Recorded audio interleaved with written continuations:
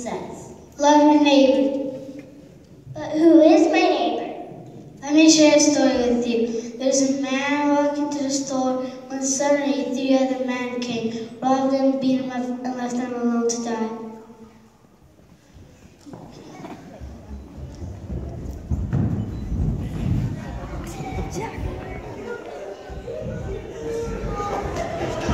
A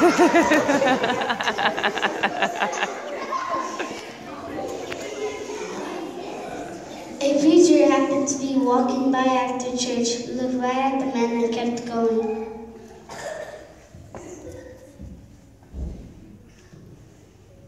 Oh, see you on church next week.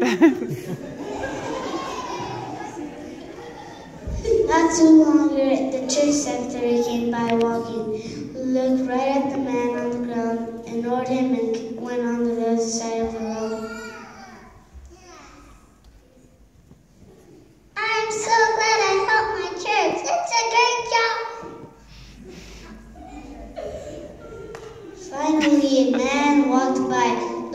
hurt man on the ground, cleaned his cuts, and helped him.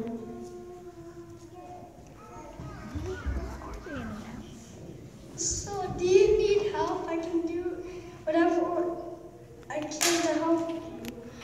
I can clean your cuts and take you to the hospital. It's okay. Can you help him? Is this a family member? No. Your friend? No. All I just know he needs help. Can you please do whatever you can to help? What does cost money, you know? So take this. If you need any more, I'll bring more tomorrow. Very well. Nurse, get a bed ready, please.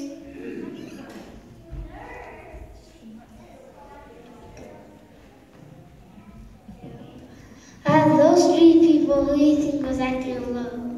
The last one. You're right. See, the person that's in the neighbor who lives next door to you is the person who has a need, no matter how big or small the need is. Okay.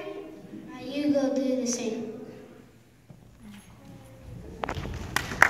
Make sure you help them be a good neighbor. Let's pray.